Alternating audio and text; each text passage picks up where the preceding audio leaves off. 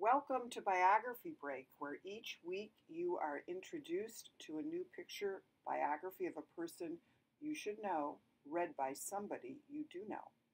This week's biography break is Frida by Jonah Winter, read by Miss Ryback. Frida by Jonah Winter.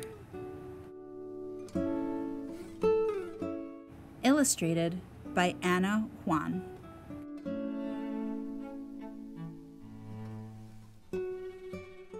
Frida enters the world.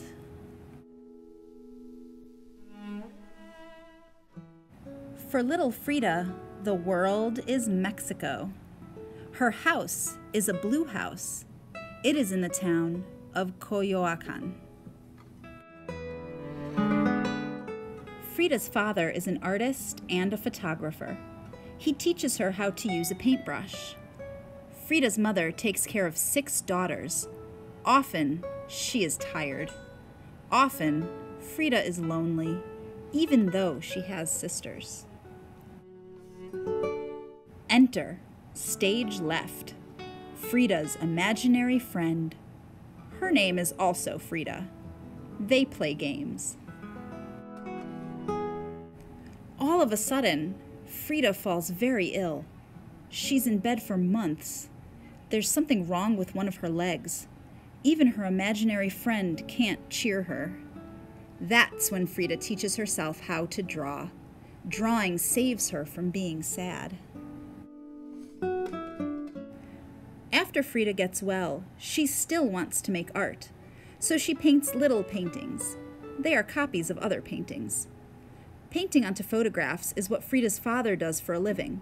He teaches her how to do this too. Frida also paints things she sees through a microscope.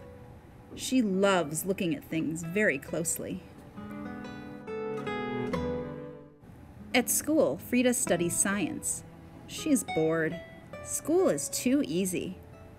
One day, Frida is riding the bus home from school a horrible accident happens. A trolley runs into the bus. Frida almost dies. In the hospital, it is painting that saves her once again. Painting is like her imaginary friend. It is there whenever she wants it. It keeps her company. It keeps her from giving up hope. After the accident, life will never be the same for Frida. She will walk with a cane when she is able to walk. Her body will hurt, always. But Frida doesn't cry or complain. Instead of crying, she paints pictures of herself crying. When she can't leave her bed, she paints in bed. When her whole torso is put in the cast, she paints on the cast. Nothing can stop Frida from painting. Because she's so often alone, unable to leave her house, she has to use her imagination. She paints what she sees in her heart, on top of what she sees with her eyes. It's almost like painting on photographs. She paints little magical scenes with words at the bottom. All over Mexico, people paint these kinds of scenes. Sometimes they're scenes of accidents, with angels coming to the rescue. They are like prayers for people who are sick. They are called ex votos. Frida paints ex votos of herself when she is sick or in pain. Frida imitates no one in her style. Her paintings are like nothing else. In museums, people still look at them and weep and sigh and smile. She turns her pain into something beautiful, it is like a miracle.